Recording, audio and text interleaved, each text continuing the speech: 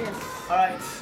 So, so I've seen some of the attempts made by different people, and I think for these first two, you guys have really done it. But let's just do it together. Sometimes you have situation where it's difficult to, you know, let u be something, let v be something. One of the best things to do is to try both ways and see. There's a pattern I'll tell you next time, integral, exponential, and things like that, the way you arrange them. But let's see.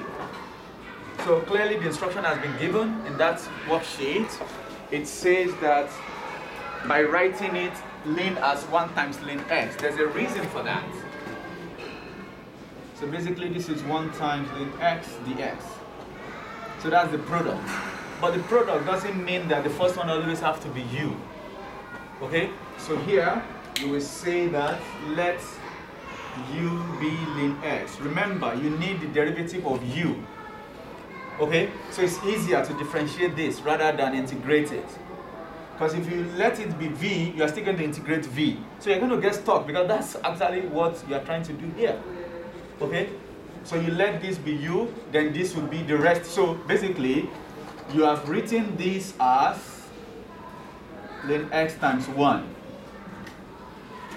such that your u is this and the rest is the v. Let u be this and the v be dx. Understand? It means that from here, du dx is 1 over x, which means du is 1 over x dx. And from here, v is the integral of dx, so v is just x. Okay? And by the rule, integral of u dv is uv minus integral v du. Okay? So, this is going to be, you just say from, always state it, okay? So you can remember. Integral of u dv is equal to uv minus integral v du. The rest is. It implies that the original question is equal to, the original question is this, right? Based on your substitution. Uv, you have natural log of x times x. I put it in brackets so it doesn't look like x squared. Minus integral v du. x du is 1 over x dx. So that everything here becomes x ln x minus integral dx. x and x cancels. Can you see that? So that everything becomes x ln x minus x plus c. And if you differentiate that, you should get this back. You can try it later. So you say hence, integrate this. So the same way, let u be that and uh, v be just the dv, sorry, is the x. If you differentiate this with respect to x, this is uh, chain rule, right? 2 ln x times derivative of that 1 over x which is 2 ln x divided by x yes? And v will be the integral of the x so v is equal to x again. Then right?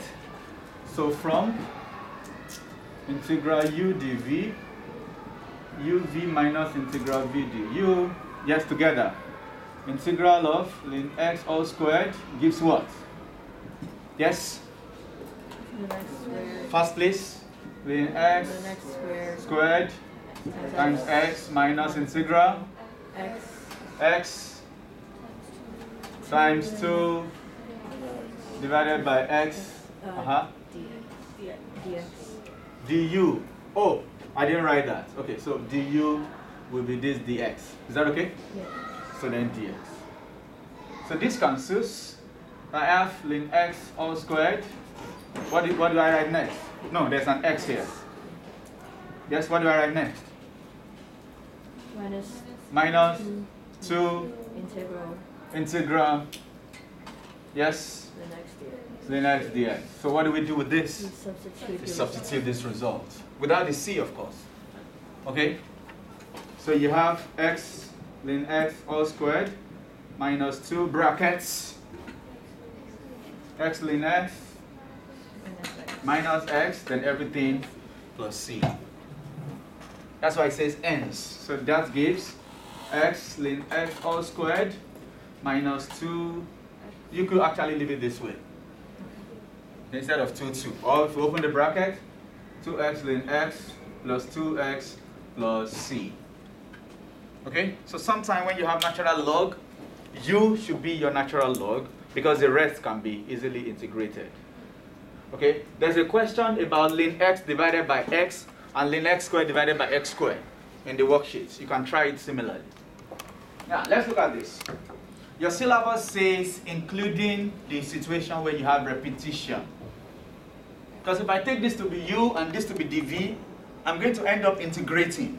So watch what we're going to do. So here, let's, if my u is exponential, it's easy to differentiate. If my dv is this, it's easy to integrate, so I don't have a problem. You can try it both ways and see, okay? And uh, my dv is sine x dx, okay?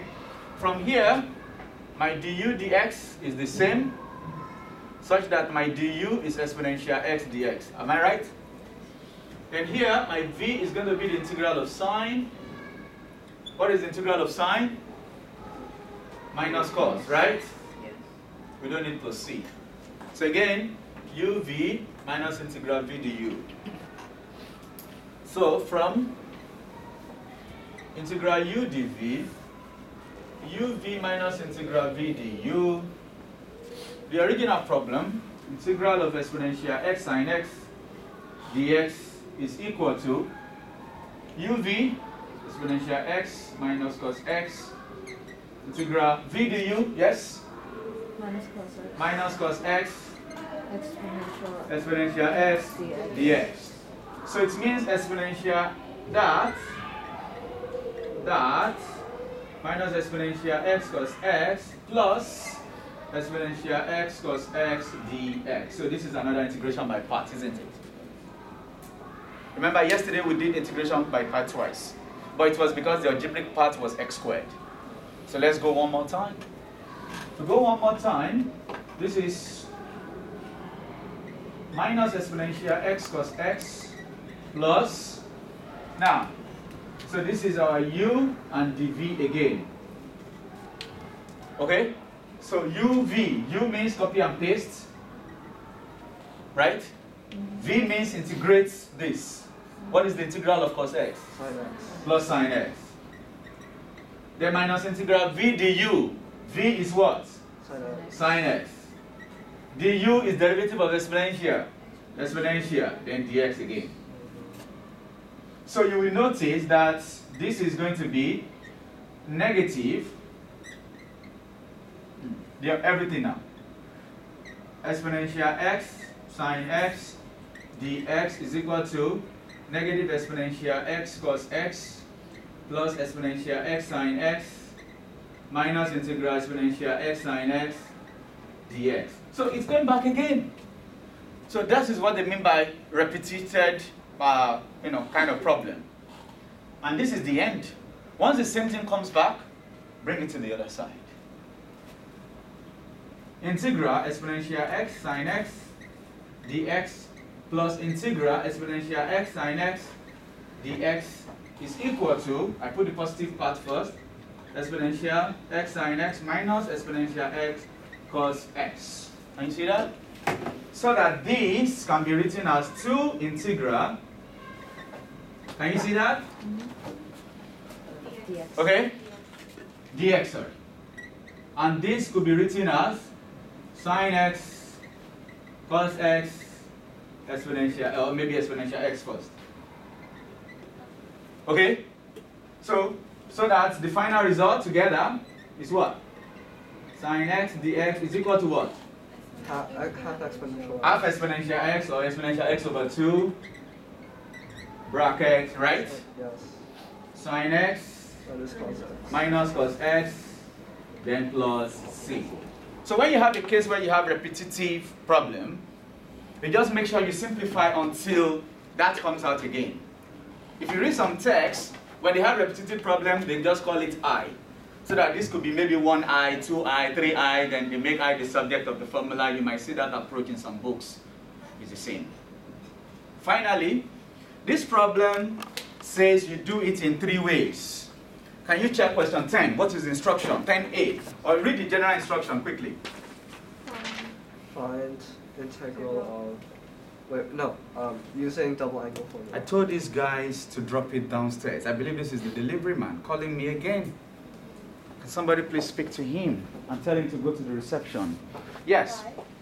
Find that using double Mhm. angle formula. Find this using double angle, then using substitution, then using integration by parts, right?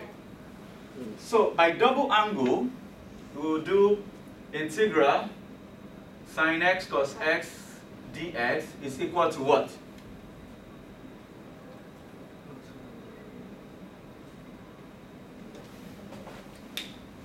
Come on, you have seconds. Everyone except Lillian, please. What is the double angle formula? Say that again. Sine 2 theta. So can you use this? So, Oh. Um. You put a half outside, put a half outside. then integral of two sine x cos x Uh, dx. right? And this becomes what? Half integral. Half integral sine 2x dx. We've done this before, right? So, that'll be half. What is the integral of sine? Uh, negative cos. Negative cos 2x. Is that all? Over two. Over two. Over 2. Thank you. Then plus. Two. So finally you get minus 1 over 4 cos 2x plus c. Second part, using what? Substitution. Substitution. So integral of sine x d uh, cos x dx. How do we use substitution? Anyone? Let u equal sine x. Let u be sine x or let u be cos x. It doesn't matter which one. Okay? Let u equal sine x. Then what happens? du dx. du dx equals cos x, which means du uh, dx is equal to what? Du. du over cos x. Okay? Is there a problem, Callista? Uh, they say like they're gonna wait for you to go down because you gotta sign the thing for the credit card. Yeah, someone will sign. Someone is there No, to they no, no. they need you to sign Your, it. your Okay. credit card needs to It has to they'll wait. Wait. So integral of sine x cos x dx. dx is equal to Sine u cos x. integral of no U. u u huh cos x. Cos x. cos x du over cos x. du over Cos x. cos x. Okay, so that gives what? You. Integral of U. u du. So what is integral of u du? u squared over squared 2. u squared over 2 plus c, which will be sine squared x over 2 plus c. Looks like they are different. I can bet they are not. If you open this, you get 1 over 4. Cos 2 in terms of sine squared is what? 1 minus, right? Talk to me, please. Then plus c. So open the bracket. Minus 1 over 4, yes? Plus half sine squared x plus c. Combine this with this gives you your new c. It's just a constant. It doesn't mean c is peculiar. It's any other constant remaining. Anything remaining that is not a function of x is the c. Understand? So they are the same result. The last part, what does it say? Integration by parts. So the same problem using integration by parts. So integration by parts cos no sine x cos x dx. So what do we do? I'll release in one minute. What do we do? u equals sine x. Let's u equals sine x, or it could be the other way around. Let u equal sine x and yes, dv equals dv equals cos x dx. So from here you find the u dx, which is Cos x. cos x and your du is equal to cos x dx. And also from here you find v. What is the integral of cos x? Sine, yes, sine. Okay? uv minus integral v du. So integral u dv is equal to uv minus integral v du makes the original problem. You have to complete this yourself, okay? dx is equal to, let's write the first part, Sign up. sin x, sin x minus sin x cos x. Yeah, oh, I think we're almost done. This and this are like. So take it away. You can see your sine square x comes back again, divided by 2 again, right? So integral of sine x cos x dx minus plus sine x cos x dx is equal to sine squared x. So if 2 integral is equal to sine squared, clearly the integral is sine squared divided by 2 then plus c. And we can, we've already simplified that this and this are the same. Okay? And that's how you complete it. So pack your stuff while I write the last stuff.